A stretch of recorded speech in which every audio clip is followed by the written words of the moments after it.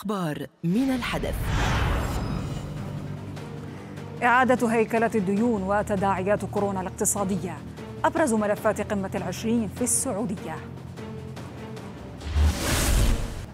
المبعوث الأمريكي الخاص إلى إيران يحذر طهران من مهاجمة ميليشياتها للقوات الأمريكية في العراق.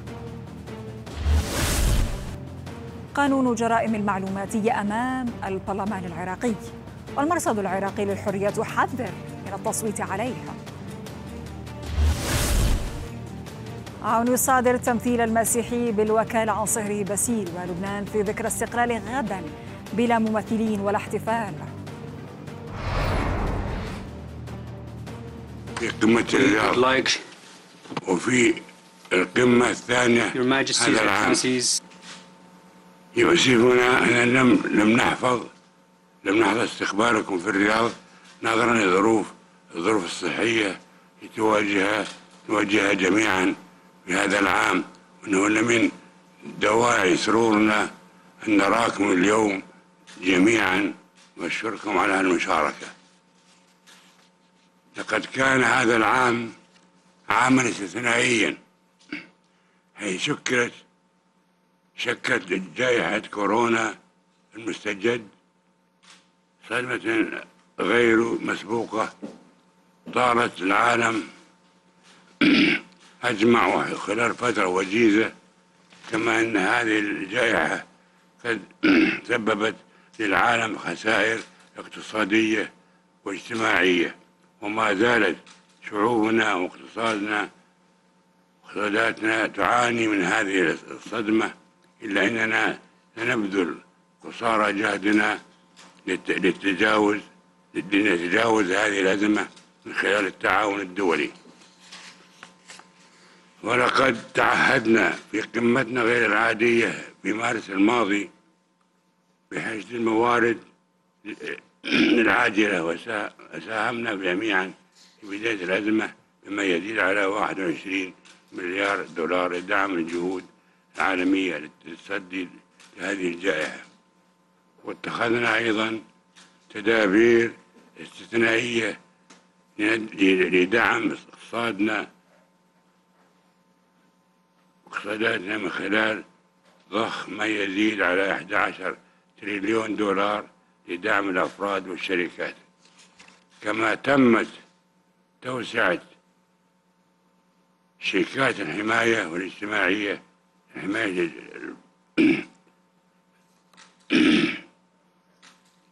الفئات المعرضة للفقدان لفقدان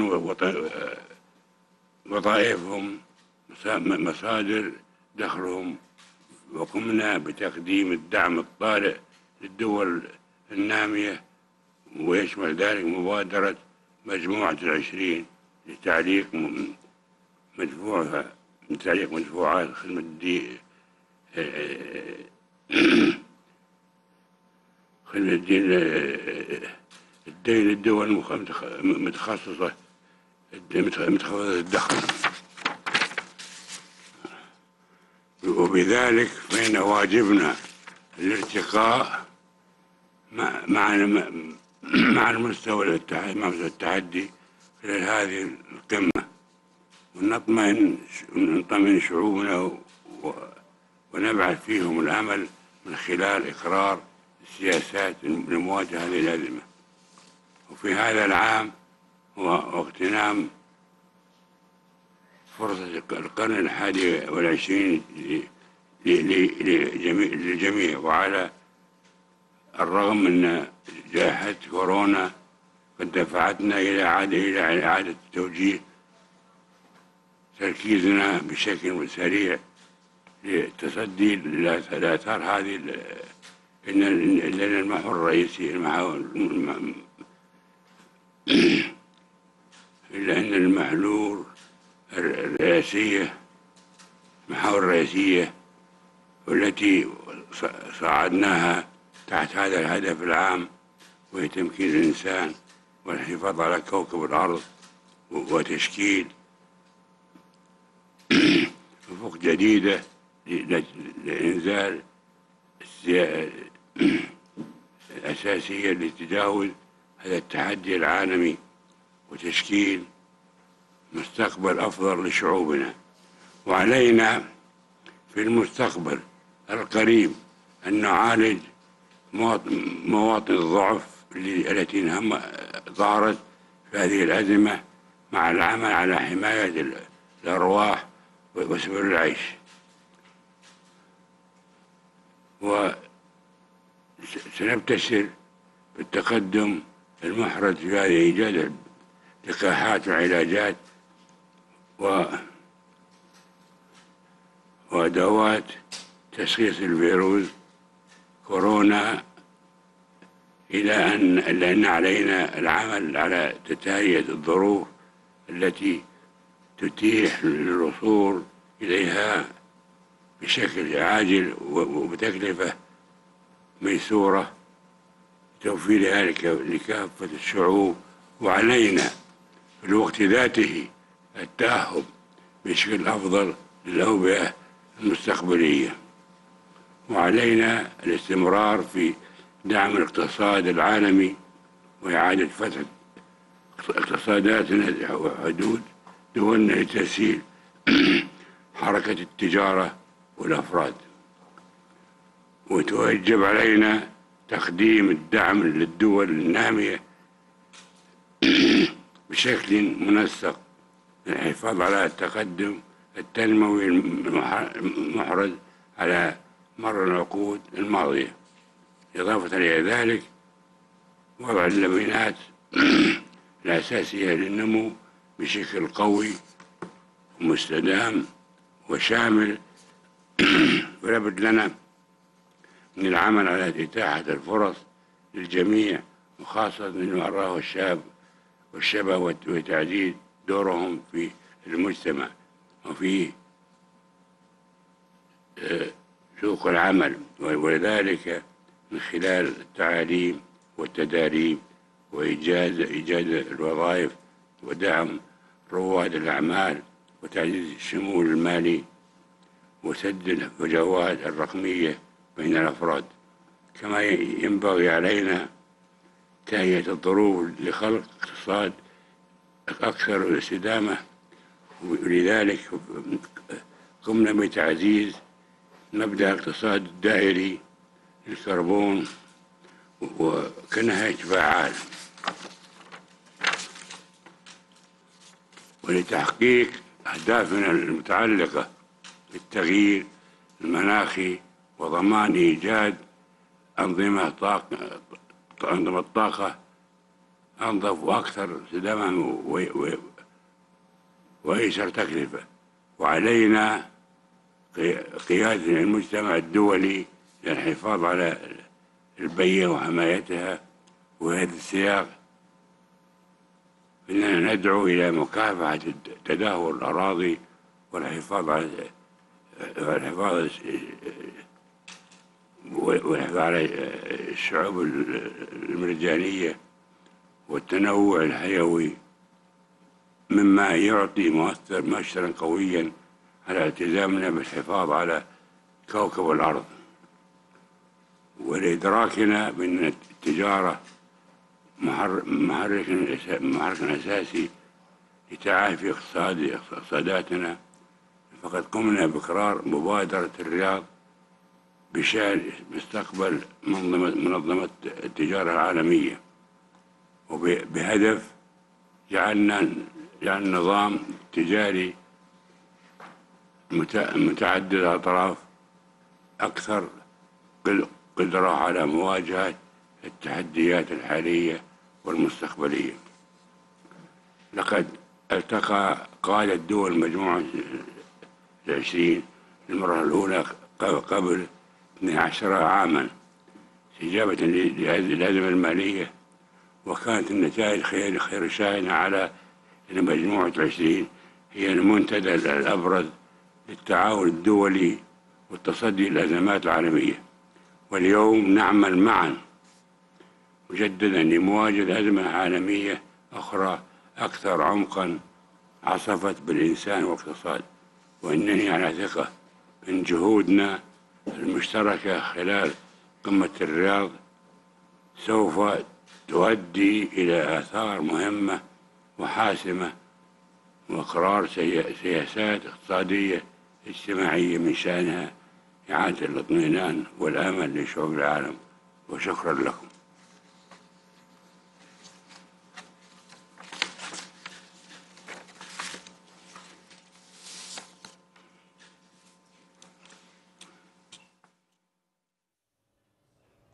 إذا كنا مع خطاب العاهل السعودي الملك سلمان في افتتاح قمة قادة مجموعة العشرين. إذا خطاب العاهل السعودي الذي قال فيه بأنه عام استثنائي بسبب جائحة كورونا وبسبب كل التداعيات الاقتصادية التي آه، جاءت بعد انتشار فيروس كورونا في العديد من دول العالم. قال ساهمنا ب 21 مليار دولار للتخفيف من أضرار كورونا واتخذنا تدابير لدعم الاقتصادات الدولية واقتصادات الدول النامية خاصة وبأن آه، وبأنه تم ضخ 11 مليار دولار لمساعدة الأفراد ومساعدة الشركات الصغيرة في إطار مكافحة كل تداعيات كورونا الاقتصادية وكل التبعات آه، والخسائر التي جاءت بعد انتشار فيروس كورونا.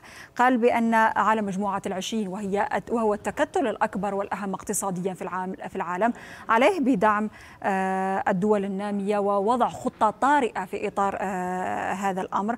وقال بأنه يجب أن يضمن للشعوب أو نطمئن الشعوب ونبعث الأمل. آه، كما قال العاهل السعودي بأن على العالم تجاوز تداعيات وفيروس كورونا وبين الكثير من التحديات الآن آه، في هذا الإطار. آه، وقال كذلك العاهل السعودي بأن مجموعة العشرين وكل العالم عليه العمل الآن في المستقبل القريب لمعالجة مواطن الضعف والتي ظهرت بشكل جلي بعد انتشار فيروس كورونا وبعد الضربات الاقتصادية بالتأكيد الكبيرة على اقتصادات العالم بسبب هذه الجائحة وقال بأن على الجميع تهيئة الظروف المناسبة للوصول لعلاج لفيروس كورونا ودعم حتى هذا هذا العمل الوصول لعلاج واللقاحات لفيروس كورونا وحتى توفير الأمر وتوفير اللقاحات لكافة الشعوب خاصة الشعوب الفقيرة. آه، كما دعا العاهل السعودي الملك سلمان في افتتاح قمة آه، قادة مجموعة العشرين بدعم الدول النامية في إطار هذه القمة ولكن بشكل منسق مع هذه الدول وبضرورة تهيئة الظروف لخلق اقتصادات آه، أكثر استدامة. ولا بد من تعزيز بحسب بحسب العائل السعودي تعزيز دور المرأة ودور الشباب في المجتمع وسوق العمل والاستمرار بدعم الاقتصاد العالمي وتسهيل حركة التجارة والأفراد. وكما قال في ختام آه، كلمته العاهل السعودي الملك سلمان قال بأن آه، بأنهم على ثقة بأن الجهود وفي هذه القمة قمة العشرين ستنتهي بسياسات اقتصادية واجتماعية مهمة جدا. ستؤدي إلى طمأنة الشعوب شعوب العالم بالإضافة إلى مساعدة شعوب العالم لمواجهة آه، تداعيات فيروس كورونا. لمناقشة بالتأكيد كل هذه النقاط النقاط الاقتصادية في قمة العشرين للزعماء. وقادة مجموعة العشرين المجموعة الاقتصادية الأهم من الرياض. ينضم إلينا الكاتب الاقتصادي راشد الفوزان. السيد فوزان أهلا بك. السيد فوزان. مساء الخير. مساء النور السيد فوزان. إذا آه هذه المجموعة الاقتصادية الأكبر مجموعة العشرين مثل ما ذكرنا. آه ذكر العاهل السعودي الملك سلمان بعض النقاط الأساسية والرئيسية التي ستناقش في هذه القمة والمأمول منها. لنبدأ بداية من آه، مكافحة فيروس كورونا مساعدة الاقتصادات في الدول النامية لمواجهة تداعيات فيروس كورونا. ما الذي يمكن أن يتخذ من إجراءات ومن آليات توضع لمساعدة الاقتصادات الفقيرة الاقتصادات التي تضررت بفعل جائحة كورونا؟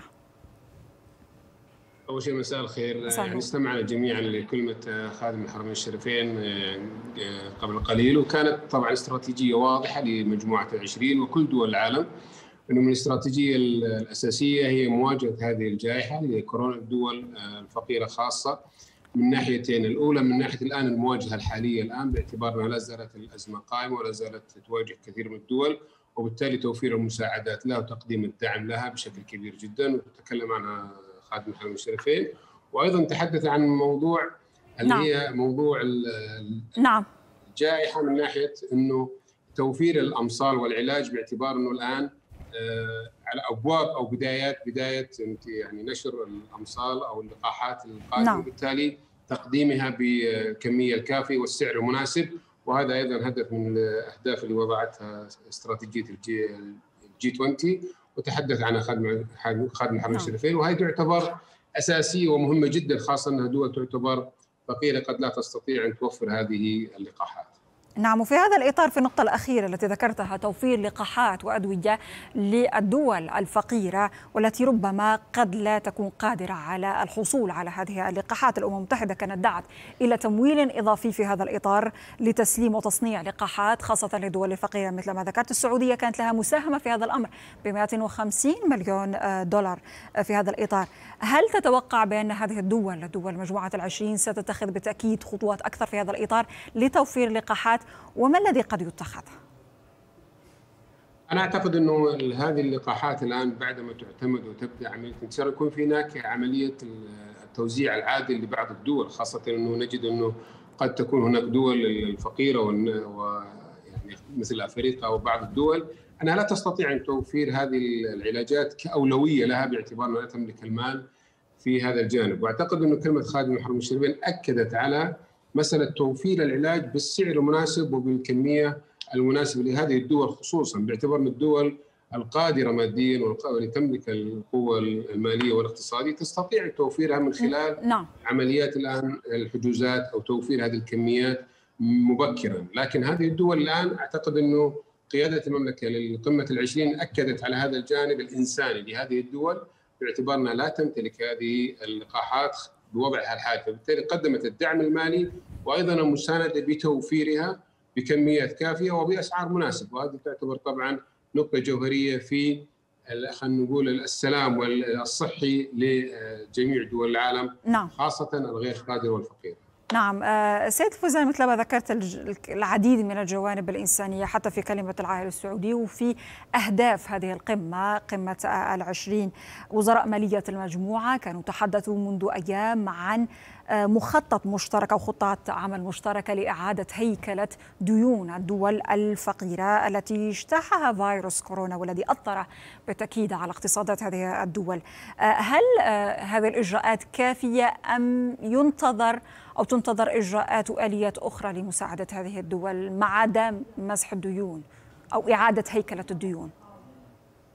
الأولوية طبعا الآن هي عملية تقديم المساعدة والدعم حاليا وتأجيل الحديث يمكن عن موضوع الديون باعتبار أنه بعض الدول ومن ضمن المملكة يعني قدمت الدعم قبل أن تقدم مسألة شطب الديون. أعتقد أنها قدمت مساعدات ودعم كبير جدا خلال السنوات الماضية وأيضا من خلال أزمة الكورونا الآن. ونقرأ الآن بعض الأخبار زي الدول الدائنه في مثل الصين وغيرها قدمت الإعفاءات مالية الآن. لكن الآن الإشكالية في حل الأزمة الحالية اللي هي تقديم اللقاحات، تقديم الدعم الصحي، تقديم الدعم المالي، تقديم الدعم الاقتصادي لهذه الدول، وكان هذا يعتبر استراتيجية واضحة لدول العشرين وبالتالي كانت مهمة جدا الآن قبل الحديث عن موضوع الآن الإعفاءات المستقبلية لأن أعتقد إنه قد تصل هذه الدول إلى مرحلة إنها لا تستطيع السداد أصلا وبالتالي تقديم هذه المساعدات الآن الفورية من خلال تقديم اللقاحات والدعم الصحي وغيره هذا يعتبر شيء جوهري ومهم متحدث عنها آه، خادم الحرمين الشريفين بتقديم المساعدات لهذه الدول نعم.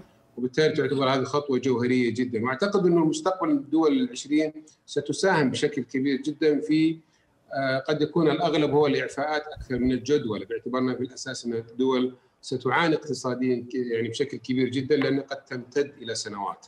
نعم. علينا الاستمرار بدعم الاقتصاد العالمي وتسهيل حركة التجارة والأفراد يقول العاهل السعودي الملك سلمان في خطابه منذ قليل السيد الفوزان. آه نعلم بالتأكيد تداعيات فيروس كورونا وتأثيراتها على الاقتصادات ونعلم بأن حركة التجارة كانت تأثرت كذلك وحركة الأفراد تأثرت كذلك بسبب فيروس كورونا. آه بعد تسهيلات أو الدعوة لتسهيلات في حركة التجارة والأفراد هل يمكن الحديث عن حركة آمنة إعادة أو ضخ آه، أموال أكثر وإعادة الانتعاش الاقتصاد في مقابل كذلك حماية الأفراد من فيروس كورونا. هل يمكن تحقيق هذه المعادلة؟ أنا أعتقد أنه ممكن تحقيق هذه المعادلة متى ما وجدت الإدارة والقيادة. أعتقد اللي استطاعت أن تحتوي هذه الأزمات في كل في دولها. إحنا في المملكة نجد أنه كانت هناك خطوات مهمة جدا على الصعيد الصحي وعلى الصعيد الاجتماعي وعلى الصعيد الاقتصادي. يعني لاحظنا هناك عملية دعم كبيرة جدا في القطاع الاقتصادي لم تتأثر فيها طبعا اقتصاد المملكة واليوم نجد إنه حتى المواجهة الصحية يعني يصادف اليوم إنه أقل حالات إصابات وصلت إلى 221 إصابة فقط في المملكة. الآن ونسبه التعافي تصل إلى أن تقارب إلى 97%.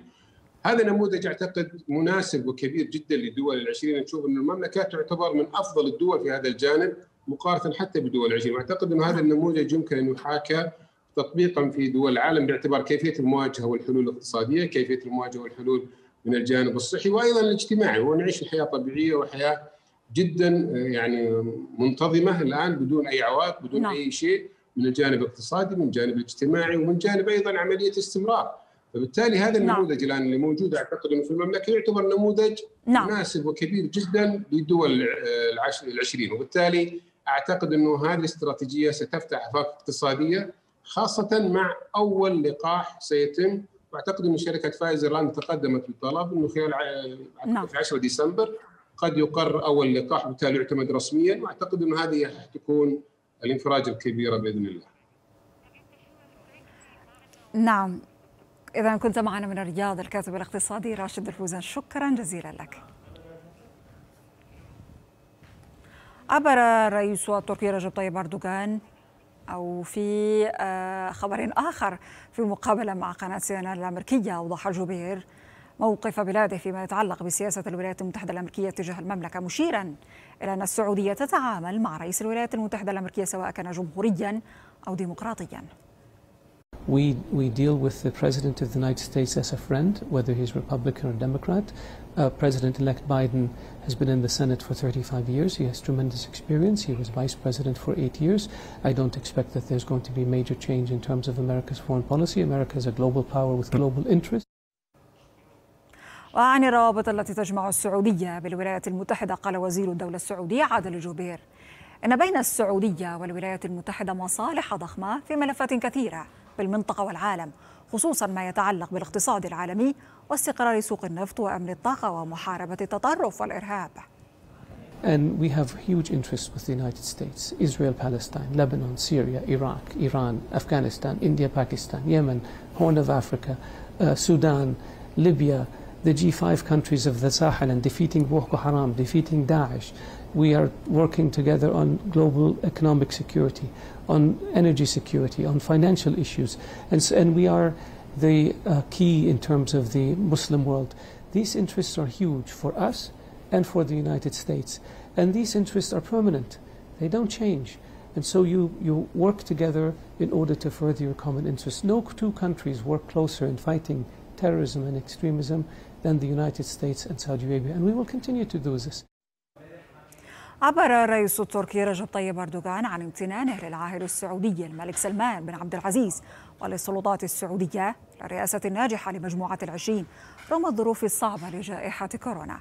رئيس التركي أكد أن القرارات التي سيتم اتخاذها في قمة الرياض لمجموعة العشرين ستكون حاسمة ليست في تخفيف الآثار السلبية لجائحة كورونا فحسب بل أيضا في تلبية التوقعات من المجموعة.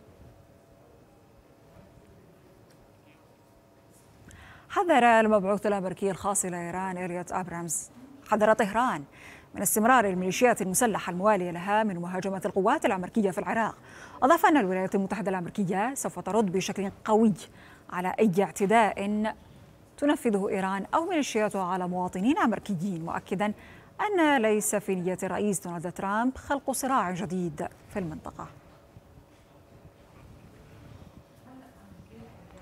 قال تحالف الفتح أن زيارة قائد فيلق القدس في الحرس الثوري الإيراني إسماعيل قائاني لبغداد أتت بدعوة رسمية من قبل الحكومة الاتحادية وأن زيارته رسمية وبحسب تحالف الفتح.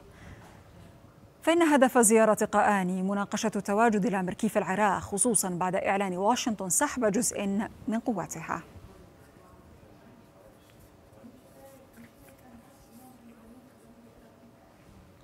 ولمناقشة بالتأكيد هذا الملف ملف آه، أي ضربات محتملة أمريكية على إيران في هذه الفترة القصيرة المتبقية للرئيس الأمريكي دونالد ترامب.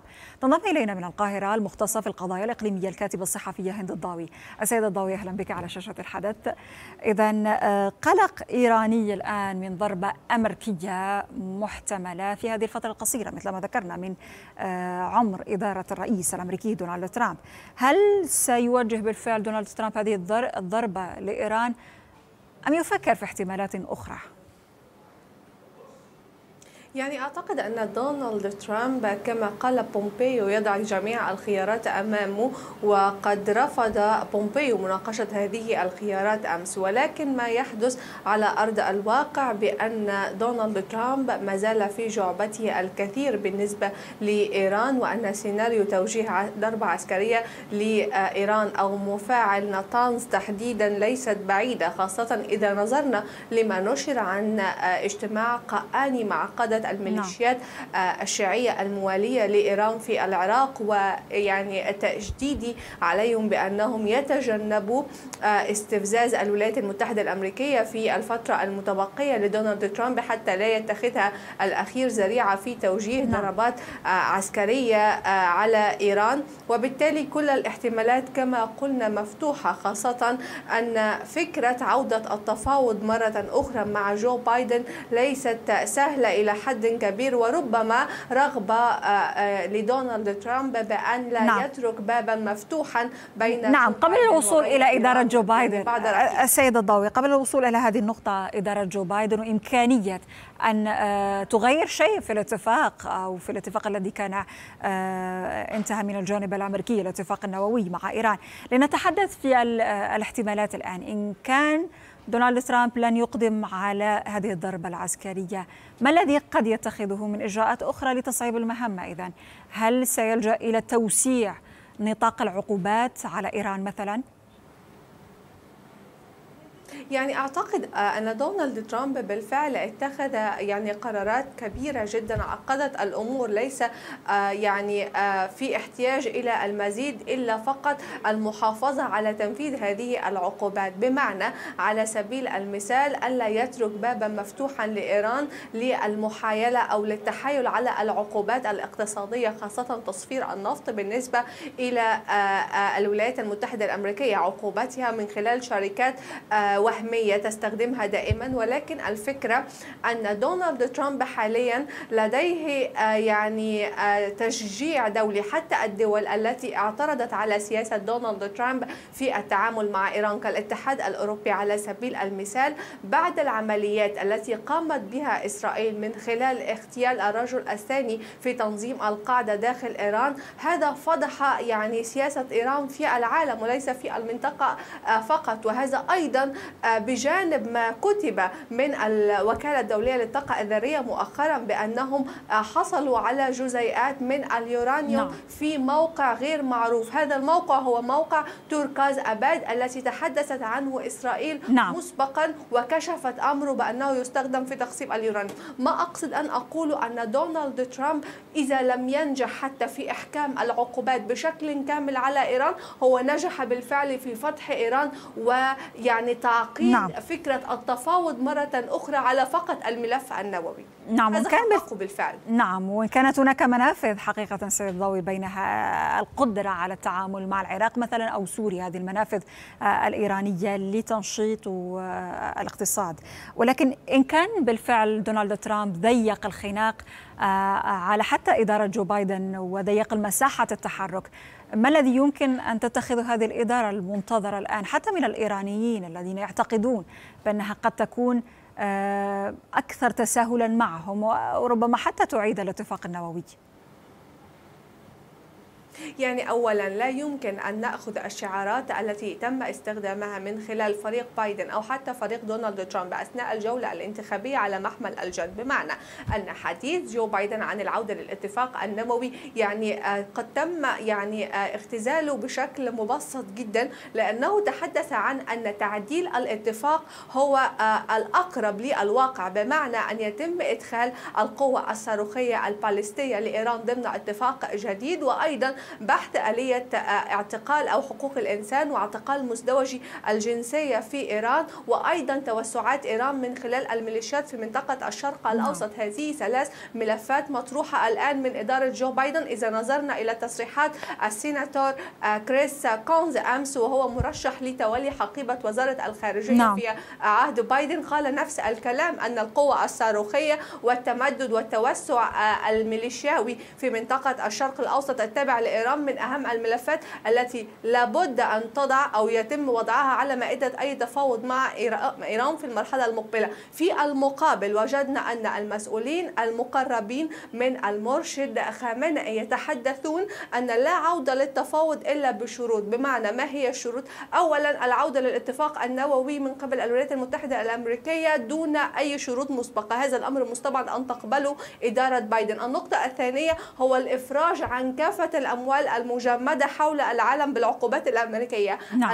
الملف الثالث وهو أن عفوا إلغاء كافة العقوبات التي كلفت إيران أكثر من 200 مليار دولار حتى الآن خلال نعم. عامين إذا نظرنا لما يتحدث عنه إدارة بايدن الجديدة أو المنتظرة وما يتحدث عنه الداخل الإيراني نجد أن الفجوة متسعة بشكل كبير بالإضافة إلى أن الانتخابات الإيرانية على الأبواب وتعديل قانون الانتخابات نعم. المنظور حاليا في إيران يعطي الأولوية للعسكريين وبالتالي التاريخ يقول لنا أن في فترة أحمدي نجاد من حاول التفاوض مع الولايات المتحدة الأمريكية هم الأصوليين ولكن فرضوا شروط غير واقعية وفق تصريحات أو وفق نعم. حديث الرئيس أوباما في كتابه المنتظر وبالتالي فكرة التفاوض أصعب بكثير الآن مع إدارة جو بايدن عما كانت نعم. عليه آه، في عهد أوباما أو حتى في دونالد ترامب وأيضا المعطيات والمتغيرات أصبحت أسرع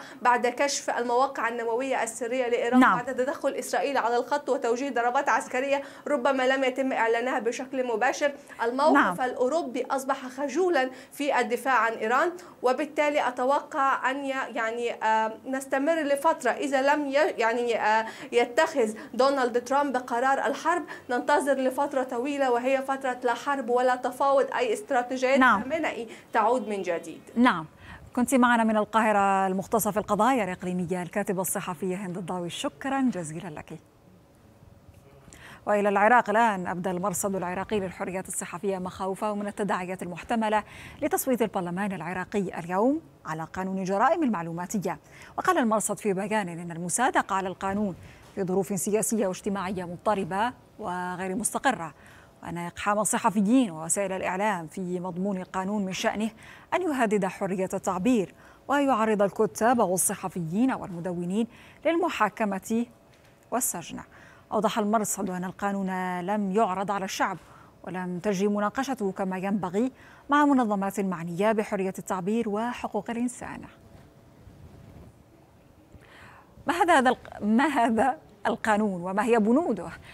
كل هذه التفاصيل حول هذا القانون المثير للجدل في العراق ينضم إلينا الآن الزميل توني مزرعاني. توني أهلا بك. مساء الخير سارة. إذا مشاهدينا بغض النظر عما إذا صوت البرلمان العراقي على قانون جرائم المعلوماتية فإنه بحسب مسودة القانون فإن الأشخاص الذين يستخدمون الإنترنت لإطفاء تعابير أو صور أو أصوات أو أي وسائل أخرى تتضمن الإهانة للآخرين يكونون عرضة للسجن ضمن عقوبة أقصاها لمدة سنتين. وأيضا دفع غرامة تتراوح ما بين ثلاثة إلى خمسة ملايين دينار عراقي. أما السجن لمدى الحياة فهم لمن يستخدمون الإنترنت لأذية سمعة البلاد.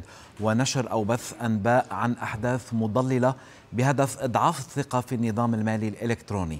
القانون سيسمح أيضا بحسب حقوقيين بمضايقة الصحفيين بشكل قانوني لمجرد أن يكتبوا عن مشكلة استخدام المخدرات في منطقة معينة مثلا وهذا ما يمكن استخدامه لمعاقبة صحفي انتقد مثلا أحد السياسيين. وتتضمن العقوبات الرادعة التي ينص عليها القانون السجن مدى الحياة. وطبعا إضافة إلى غرامة تصل ل 32 ألف دولار أمريكي وهو أكثر بعشر مرات من دخل المواطن العادي.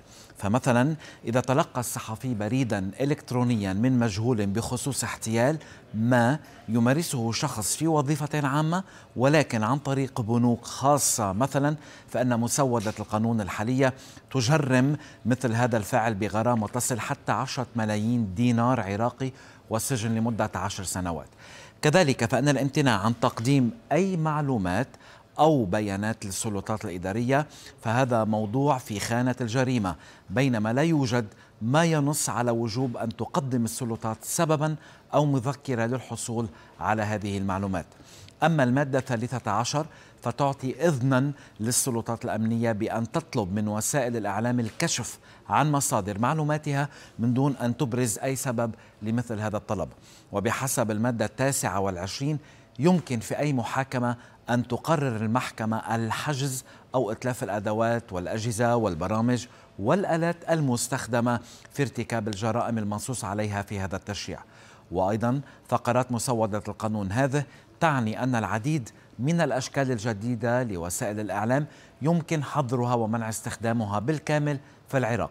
وبما أن القانون يفشل في التفريق ما بين مستخدم الإنترنت ومزود الخدمة كمثال اليوتيوب أو الفيسبوك يمكن إغلاق مزود الخدمة كليا إن كتب أحد مستخدميه شيئا ما عن عقار غير مرخص مثلا. وكذلك يمكن أيضا إغلاق وسيلة إعلامية نتيجة خطأ ارتكبه أحد المدونين. ما يشجع على الرقابة الذاتية ما بين مستخدمي الإنترنت والعاملين في إدارتها. هذا كل شيء. سارة عودة لك. نعم توني. ورغم كل هذه المواد والتي يقول المرصد العراقي بأنها ربما ستسجن نصف الشعب هناك من يدافع توني عن هذا بالفعل. القانون. سنشير إلى هذا لاحقا في كل الأحوال. كنت معنا توني مزرعاني. شكرا جزيلا. شكرا لك. دافع عضو لجنة الأمن والدفاع النيابية العراقية قاطع الركابي عن قانون الجرائم المعلوماتية موضحا أنه يحفظ الشخصية العراقية وخصوصيتها. وينفى الأخبار المتداولة بشأن قانون الجرائم الإلكترونية بأنه سيضع نصف الشعب العراقي في السجن لافتا إلى أن هذا القانون هو لحفظ الشخصية العراقية وخصوصيتها مضيفا أن هذا القانون هو للدفاع عن الحريات الشخصية. يشار إلى أن سبع لجان نيابية شاركت في وقت سابق في ورشة دولية متخصصة بقانون الجرائم المعلوماتية بإشراف دولي مع الجانب الحكومي في عمان. ولمناقشة هذا الملف هذا القانون الذي سيؤثر على الصحفيين وهو مثير الجدل الآن عراقيا انضم إلينا من بغداد الكاتب السياسي فلاح المشعل. سيد المشعل أهلا بك على شاشة الحدث. إذا بداية أهلا بك. البرلمان العراقي كان افتتح جلسته من منذ أكثر من ساعة من المنتظر ومن المفترض أن يناقش هذا القانون اليوم بداية لنتحدث عن المعلومات آه، هل سيناقش بالفعل؟ هل سيمرر أم سيعدل وفق التوقعات والمعلومات المتوفرة؟ نعم شكرا آه، حقيقة هذا القانون آه، يعني ليس وليد اليوم إنما طرح منذ عشر سنوات أو أكثر. وفي كل دورة انتخابية كان يطرح وكنا نتصدى له ونعبئ الشارع وتتحرك المنظمات المجتمع المدني والمنظمات المهنية لإضعافه ولإخماده. يبدو الآن آه، البرلمان العراقي وجدها فرصة مناسبة إلى إعادة الحياة لمثل هذا القانون. هذا القانون حقيقة هو يطيح تماما بحرية الرأي. يعني نعم. حرية الرأي هو المكسب الوحيد المتبقي للمثقف وللإعلامي وللسياسي وللكتاب. يعني فقط إحنا اليوم محاطين بجملة يعني لا يمكن عدها من الأزمات. الأمر الوحيد المتاح في ظل هذه الأزمات هو أنك تستطيع أن تعبر عن وجهة نظرك أو نعم. رأيك من خلال شبكة المعلومات ووسائل التواصل الاجتماعي واليوم هذه وسائل التواصل الاجتماعي حقيقة دخلت كساحة تصفية وساحة صراعات وساحة يعني صراع سياسي بكل أوجهة بكل نعم. تفاصيله وهي أيضا يعني اليوم بالنظر لانقسامات الساحة السياسية العراقية والمشهد السياسي العراقي لا يمكن أنت أولا أن تسيطر على طبيعة ما ينشر يوميا. يعني جيوش إلكترونية اليوم بعشرات الألوف وتتبع لهذه الأحزاب وهي تستخدم الأسماء المستعارة والعناوين المستعارة. طيب كيف تستطيع أن تطوقها وأن تسيطر عليها؟ بعدين أنت اليوم حقيقة تحتاج إلى مزيد. يعني في ظل تضخم وتظاهر الفساد في مجتمع يعاني من أزمات قاتلة وأهمها الأزمة الاقتصادية والأزمة الصحية وهناك أزمات كثيرة حقيقة نعم. وهي وليدة بنية سياسية وطبقه سياسية ضعيفة أساءت أو فشلت بإدارة الدولة، أنت تأتي لتشريع هكذا قانون نعم. يطوق الحريات السيد المشعل مؤبد وبغرامات نعم. بالملايين سيد المشعل في بعض مواد هذا القانون التي أشرت إليها سابقا بالإضافة إلى توسيع آه، العقوبات وتغليظ حتى العقوبات وحتى مس ببعض الحقوق الواضحة للصحفيين مثلا السر المهني آه، هناك من يبرر الأمر ويقول بأنه يحمي الشخصية العراقية، كانت لجنة الأمن والدفاع النيابية العراقية قالت هذا، قالت بأنه يحمي من الأخبار المضللة ويحمي الشخصية العراقية، هل هذا المبرر مقنع بالنسبة لكم؟ لا ابدا حقيقة هو هذه السياسيين يحاولون الدفاع عن أنفسهم لأن أصبحوا مكشوفين حقيقة تماما أمام الرأي العام العراقي فلغلق هذه النوافذ ماله لإصدار أو لتشريع هكذا قانون. نحن نهيب بالشخصيات الوطنية والقوى الوطنية داخل البرلمان أن تقف ضد تشريع هذا القانون.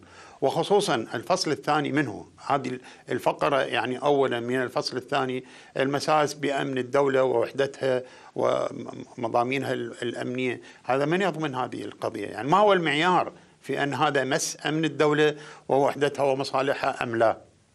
ثانيا الصحفي العراقي اليوم والكاتب والرأي والمحلل.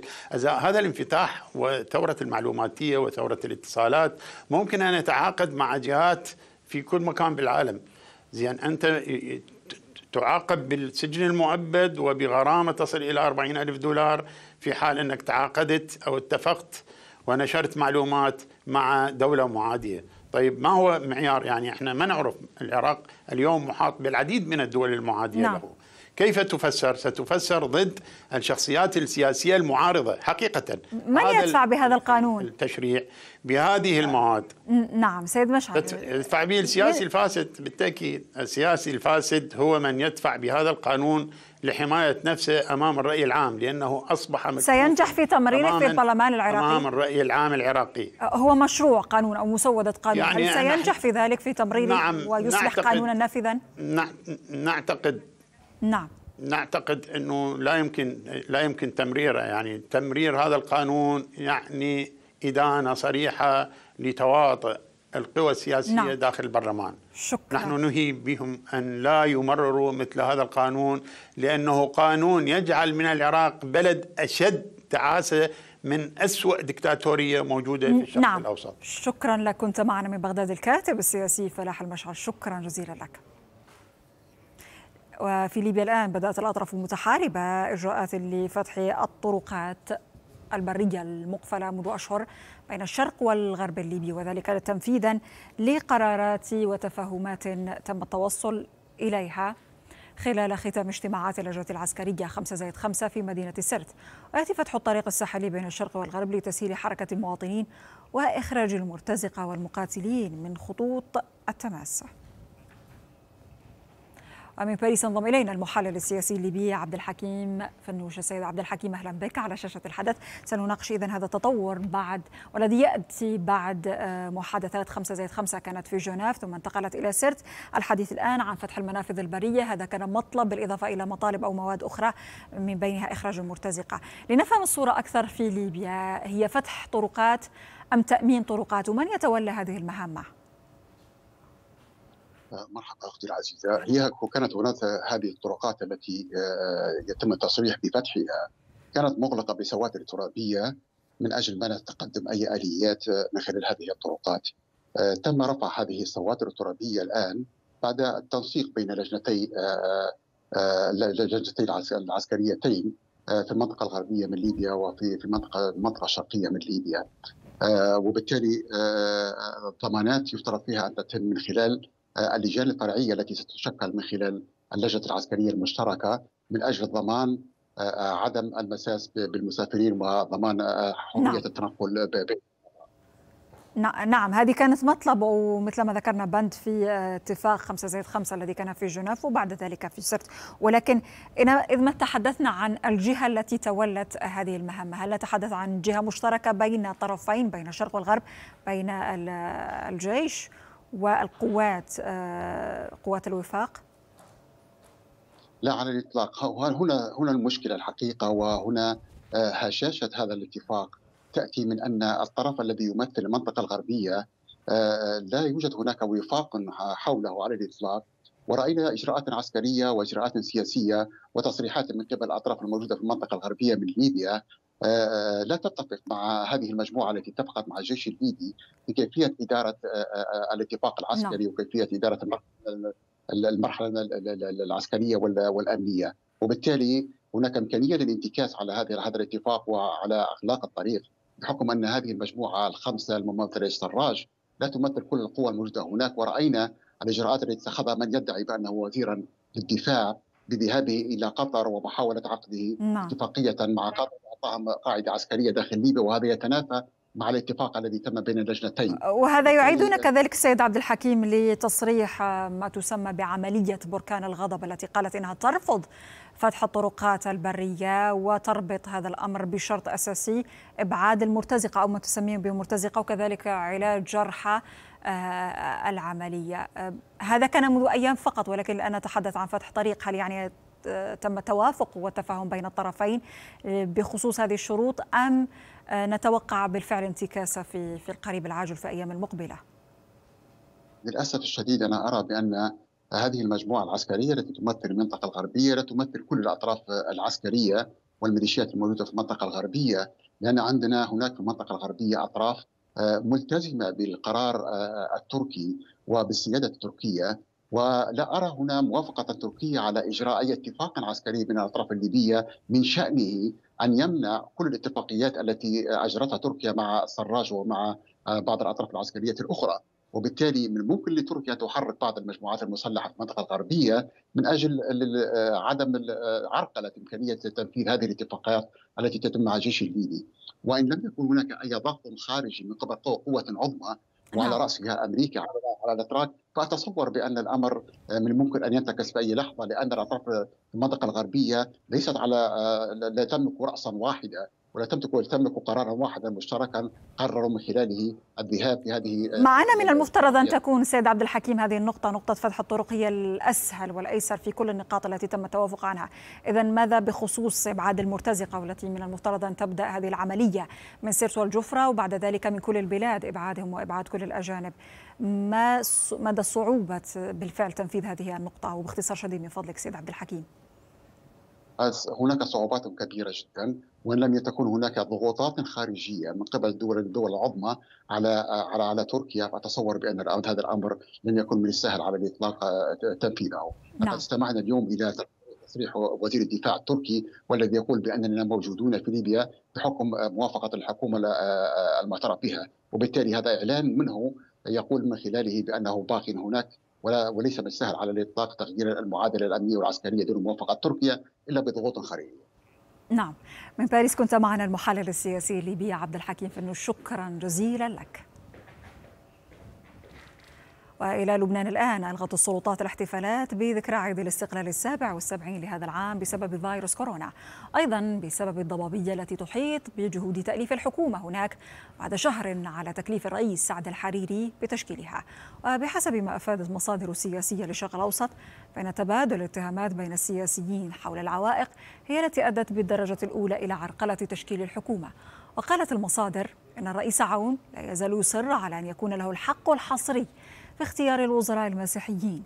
وهذا ما يتعارض مع الصلاحيات التي منحها الدستور اللبناني لرئيس الحكومة المكلف الذي يجيز له دستوريا التوقيع على المرسوم الخاص بالتوافق مع رئيس الجمهورية. وتساءلت المصادر لماذا اضطر عون للتراجع عن بعض أسماء الوزراء المسيحيين من أهل الاختصاص ومن ذوي الكفاءات بعد أن وافق عليها الحريري مضيفة أن نائب جبران باسيل سهر الرئيس عون يريد مصادرة التمثيل المسيحي في الحكومة ظنا منه بأنه يحمي نفسه من العقوبات الأمريكية المفروضة عليها وبالتالي يريد السيطرة على الثلث المعطل في الحكومة لتمرير رسالة بأن هذه العقوبات لن تؤثر على مستقبله السياسي. وإلى ملف فيروس كورونا تعتبر أنظمة المراقبة والأجهزة القابلة للارتداء التي تراقب مرتديها باستمرار أحدث الأجهزة التقنية المتطورة التي انضمت إلى المعركة مع فيروس كورونا المستجد حتى أن بعض الدوريات الرياضية والمصانع ودور الرعاية بدأت باستخدامها. إذ تتهيأ جامعة أوكلاند في ميشيغان لتقديم أجهزتها القابلة للارتداء لطلابها لقياس درجة حرارة الجلد مرة كل دقيقة. أما في مدينة تكساس الأمريكية فبدأ الموظفون في مقر شركة بارتداء أجهزة استشعار لرصد المسافة بينهم ويمكن استخدام هذه الأجهزة أيضا لتنبيه الشخص الذي يرتديها إلى احتمال تعرضه لفيروس كورونا. في التنس وضع لاعبو فريق كرة القدم التابع للجامعة الخاصة بهذه المدينة أجهزة تعقب للمسافة تحت بطانات الكتف في قمصانهم خلال المباريات. كذلك طرحت نظام المنطقة الآمنة الذي يسجل الاحتكاكات القريبة بين اللاعبين والمدربين ويرسل ضوءا حراريا. ما إذا كانت المسافة بين شخصين تبلغ 1.8 متر أي أقل من المطلوب. أو المطلوب هو متران. هناك أيضا أجهزة أخرى لشركة مايكروشير تستخدم تقنية بلوتوث لرصد وقياس احتكاك الأشخاص الذين يرتدونها لتحديد هوية الموظفين الذين يمضون وقتا بالقرب من الشخص المصاب وتحذيرهم. أما عملاق صناعة الأدوية جلاكسو سميث فبدأ تطوير نظام تعقب للفيروس يسجل الاحتكاكات القريبة بين الموظفين بسبب أرقام بطاقات هوياتهم ما يتيح للشركة تعقيم الأماكن التي قد يكون الشخص المصاب أمضى فيها وقتا. وفي سياق متصل تعمل جامعة أوكلاند البدء باستخدام ما يعرف بالزر بيولوجي وهو عبارة عن زر استشعار يشبه العملة المعدنية شكلا وحجما.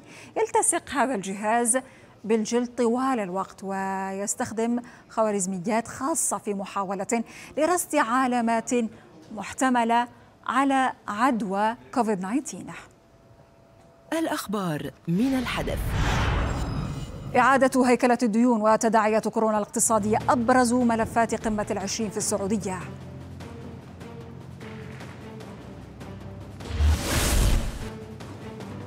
المبعوث الأمريكي الخاص إلى إيران يحذر طهران من مهاجمة ميليشياتها للقوات الأمريكية في العراق.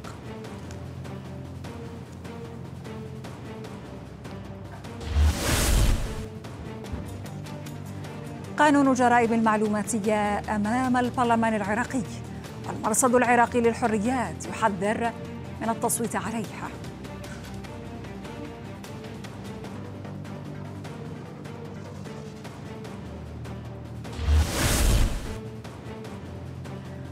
عون يصادر التمثيل المسيحي بالوكالة عن صهره بسيل ولبنان في ذكرى استقلاله غدا بلا ممثلين ولا احتفال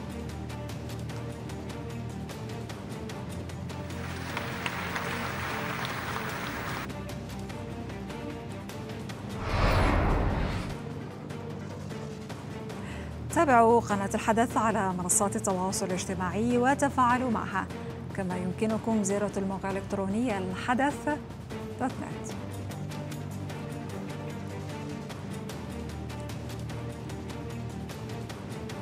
شكرا لكم على طيب المتابعة. يلقاكم على الساعة المقبلة الزميل حسين الشيخ. السلام عليكم.